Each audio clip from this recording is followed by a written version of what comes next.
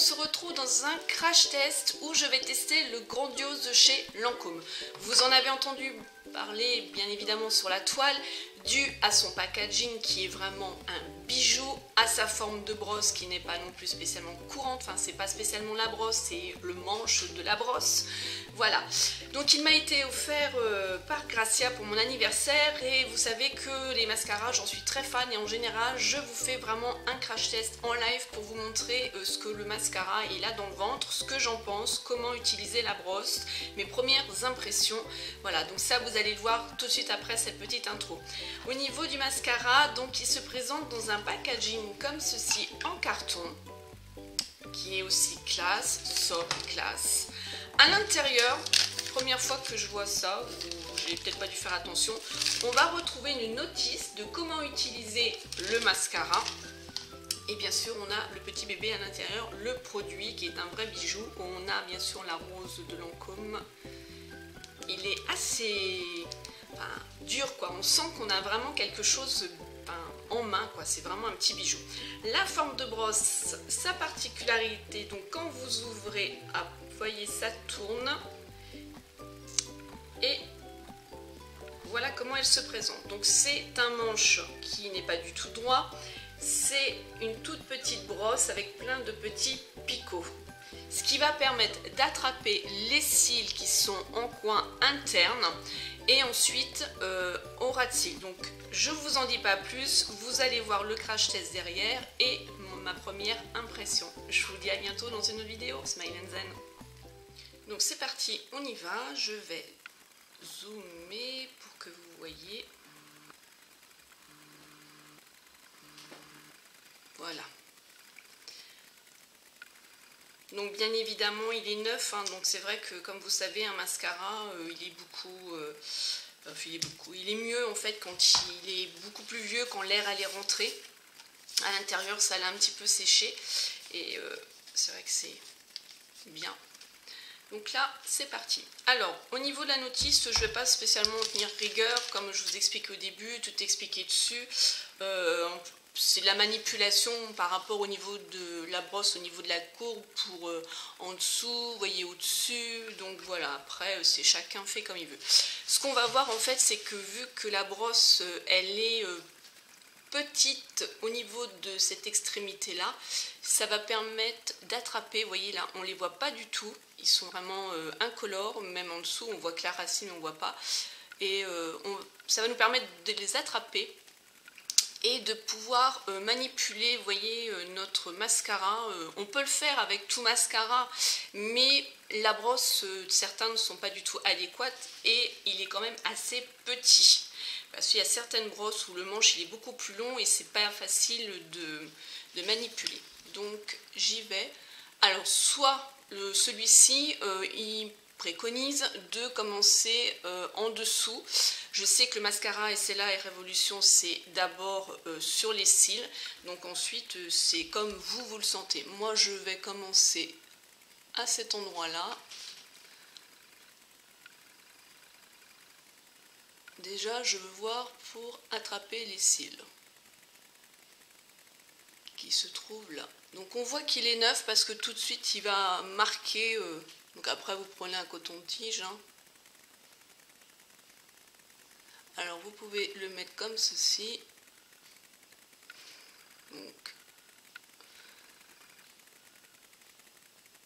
Et on peut encore aller beaucoup plus près du coin de l'œil pour choper les petits cils. Je regarde bien sûr dans mon miroir en même temps. Donc quand on pose vous voyez, hein, c'est ce que je vous dis, c'est le défaut du mascara, là, euh, neuf, c'est qu'il nous en met un petit peu partout.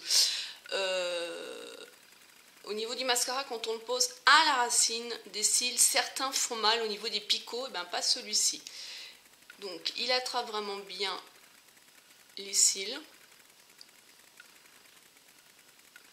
Alors, je comprends quand Gracia disait qu'elle ne l'aimait pas au début, alors là, vous voyez, euh, au niveau du mascara, je vais le retourner. Et ça se fait tout seul en fait. Hein.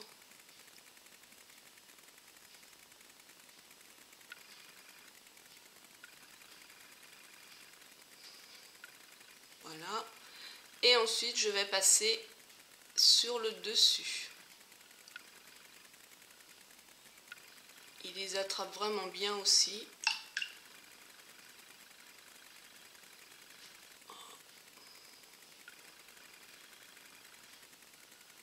Et je les replace.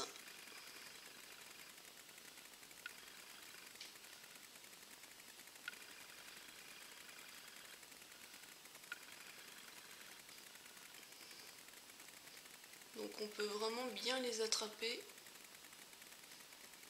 à la base. Je suis en train de manipuler la brosse dans tous les sens justement pour voir si on peut.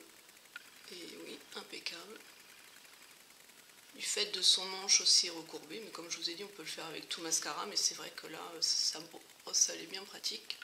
Je vais juste enlever ce qu'il y a euh, au-dessus pour que vous voyez. Bon là, déjà, on voit la différence.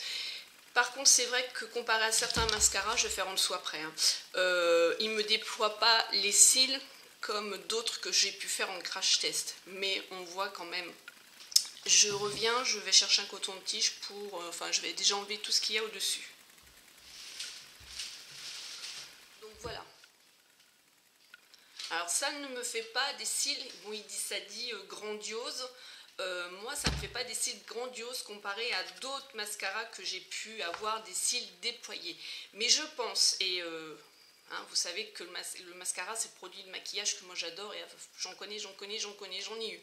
Je pense que la matière, elle est encore vraiment neuve. Il y a certains mascaras où ça ne le fait pas, comme le SLA de Air Révolution, où ça a vraiment été un gros coup de cœur, le papillon effet fossile de Bourgeois, euh, le manga de chez euh, Je mets Maybelline. Il y a des mascaras où tout de suite on va les mettre et ça me fait pas euh, bah voilà, des petites taches noires, ça m'en met pas et ça me déploie tout de suite les cils. Alors, je reviendrai de façon vous dire dans le temps, quand il aura mûri en fait, euh, ce que ça va faire. Alors c'est pareil, on va faire les cils du bas. Donc vous savez que normalement, euh, au niveau du mascara, euh, moi je ne savais pas, hein, j'ai appris ça sur YouTube. Là c'est ça l'avantage d'avoir YouTube. Moi j'avais tendance à retremper tout le temps, tout le temps, ma, tout le temps ma brosse et en fait pas du tout. Et j'ai essayé, c'est vrai que là par exemple j'aurais fait cet œil là et j'aurais fait l'autre et ainsi de suite. Et euh, voilà, je n'aurais pas retrempé euh, pour chaque œil. Donc là, au niveau du bas, donc moi j'ai les cils qui sont nuls parce qu'ils sont parsemés, ils sont pas longs, il y a des trous, c'est pas terrible. Hein. Donc là, avec cette brosse-là, euh, ce qui est bien, c'est qu'elle est petite et ça va me les attraper. Mais ce que j'ai bien peur, c'est que ça va me faire euh, comme ça m'a fait en haut, en fait, ça va me mettre du mascara partout. Parce que euh, je pense que aussi au niveau de la brosse, je ne sais pas si vous voyez, voilà, il y a beaucoup de mascara dessus. Pourtant, je l'ai essoré. Mais comme je vous ai dit, il est neuf, hein, donc il faut attendre qu'il vieillisse. Là, c'est vrai que celui-ci, euh, si vous l'achetez, le conseil que je vous donne, c'est ben, Laissez-le vieillir. Bon, bien sûr, euh, utilisez-le justement pour faire rentrer quand même de l'air pour qu'il se sèche un petit peu. voyez, là par contre avec celui-ci, ben, euh, j'ai plus de mal à le mettre moi en bas et euh, on voit quand même au niveau... si je la pose tout de suite, ça va me faire des petites taches de mascara comme ça m'avait fait en haut.